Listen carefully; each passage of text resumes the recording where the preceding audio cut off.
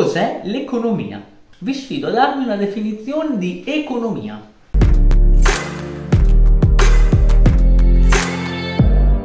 Ero curioso ieri e sono andato a cercare su Wikipedia la definizione di economia. Adesso ve la leggo perché non me la ricordo a memoria. Per economia si intende sia l'organizzazione dell'utilizzo di risorse scarse, limitate o finite significa scarse, al fine di soddisfare al meglio bisogni individuali o collettivi. E si intende anche per economia un sistema di interazioni che garantisce un tale tipo di organizzazione. Questo sistema è detto sistema economico. Oh, un ragazzo che vuole interessarsi all'economia e trova su Wikipedia scritto questo lavoro qua, indecente, perché non si capisce niente di quello che c'è scritto, comunque si capisce, ma voglio dire, non è quella l'economia e poi va a scuola e a scuola all'ora di economia gli insegnano l'economia aziendale, in particolare il bilancio dell'economia aziendale, che è una nicchia all'interno dell'economia aziendale ed è una rottura di palle allucinante, perché stai tutti a vedere i numerini, il conto economico, lo stato patrimoniale, la parte più noiosa e brutta dell'economia. E in questo cosa gli insegnano? Gli insegnano nelle ore di marketing, che dovrebbero essere le più divertenti delle ore di lezione del ragazzo, gli insegnano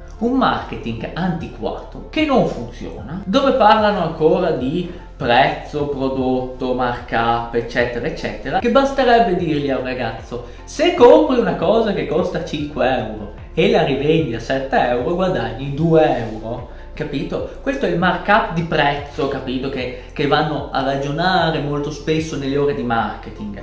Ora io mi chiedo, come fa un ragazzo? Io ho fatto addirittura l'università di economia e dico senza paura che mi è servita a poco e niente. Come può un ragazzo interessarsi all'economia se gli viene spiegata la parte più noiosa e brutta dell'economia e nella parte che dovrebbe essere più interessante gli vengono spiegate delle robe vecchie che non funzionano, anche la comunicazione che viene spiegata, viene scritto che il marketing è fatto con le pubblicità in televisione, che il marketing funziona con le pubblicità sui giornali, adesso sono entrati che il marketing funziona nei social media, lo dicono agli ultimi studenti che funziona nei social media, come se avessero iniziato a funzionare da ieri, capito? Che ormai i social media sì, lo, lo sanno anche i sassi che i social media servono per fare marketing e che ormai anche quel mercato di, del marketing è abbastanza saturo perché anche i social media stanno battendo troppo forte sulle pubblicità e iniziamo a non considerare più neanche le pubblicità sui social. Quindi io immagino un ragazzo che vuole intraprendere o comunque vuole studiare l'economia e si trova davanti a questo. Per forza la molla, per forza non impara l'economia, per forza non impara gli elementi essenziali, le parti chiave dell'economia. Ad esempio, l'importanza, come ho già spiegato in un altro video, di staccare il proprio reddito dal lavoro. Questa è una parte della finanza personale che dovrebbe essere insegnata a chiunque.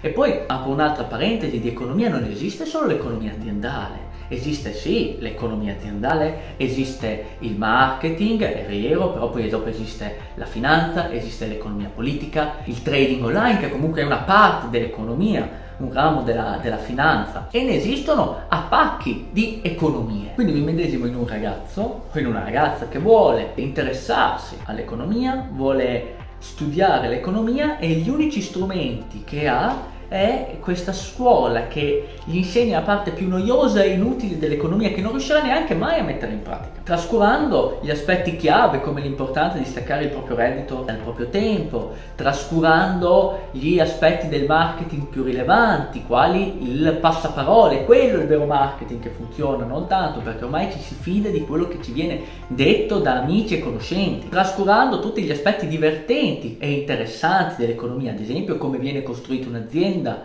come questa azienda può crescere nel tempo, il, il, fatto che l'economia è fatta di scelte, è fatta di persone, è fatta di relazioni, non solo di numerini, conto economico e stato patrimoniale, tutte parti che non vengono considerate. Ora voglio dare una definizione di economia. L'economia è tutto quello che avete intorno. Adesso blocca un attimo il video e prova a vedere tira sulla testa e guarda cosa hai intorno a te, la prima cosa che vedi. Immagino che tu possa vedere fuori dalla tua finestra e vedi un albero, anche dietro quell'albero c'è un'economia, perché il comune della tua città pagherà dei giardinieri per potare quell'albero ogni tanto e qualcuno avrà venduto probabilmente i semi per far crescere quell'albero. Solo dietro quell'albero c'è economia.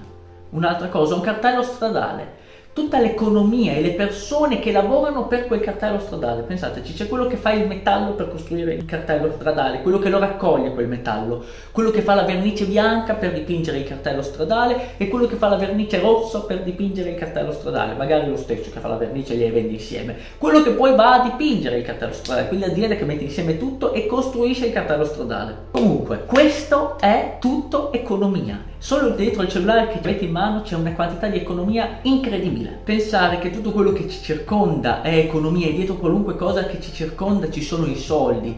Altro argomento abbastanza tabù nelle scuole e nell'istruzione, che non viene spiegato che l'economia è fatta di soldi, di soldi, ovvero io ho 200, 1000, 2000, 3000 euro, devo investirli, devo metterli qua, devo metterli là. Come faccio a guadagnarne di più? Come evitare di perderne? Tutte cose che non vengono spiegate, non vengono insegnate, elementi che invece sono fondamentali e che effettivamente potrebbero portare gli studenti e i ragazzi a appassionarsi a questa materia, che non è una cosa a cui si devono appassionare, ma una cosa che devono obbligatoriamente conoscere, come devono saper leggere e scrivere.